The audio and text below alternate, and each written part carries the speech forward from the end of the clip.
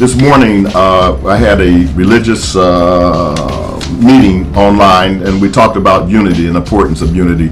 And it's a question that uh, I find very interesting in terms of how to have consistent unity, because we know how easy it is to have unity around one little goal or one objective. Uh, there's been some examples of like, even okay, I'll use my sport tennis.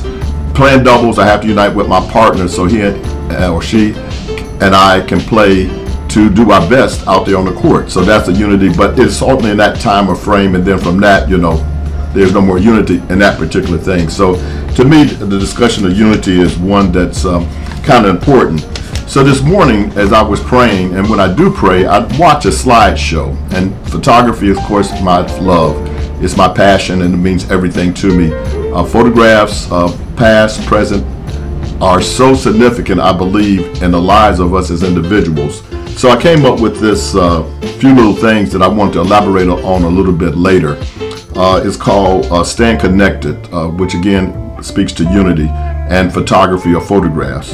The past, present, and future are presented in photographs. There are people, places, and things that are in photographs when we observe these photographs, we have appreciation and I build determination in terms of prayers into action for, uh, for, for those people in those photographs. Oftentimes I pray that we are, are they're doing well and that, uh, they, that they're happy uh, and that they're healthy. So uh, these photographs bring back these thoughts of that, uh, especially while I'm praying. Uh, and I take the prayers in action for, for, for, for my, just having the thoughts.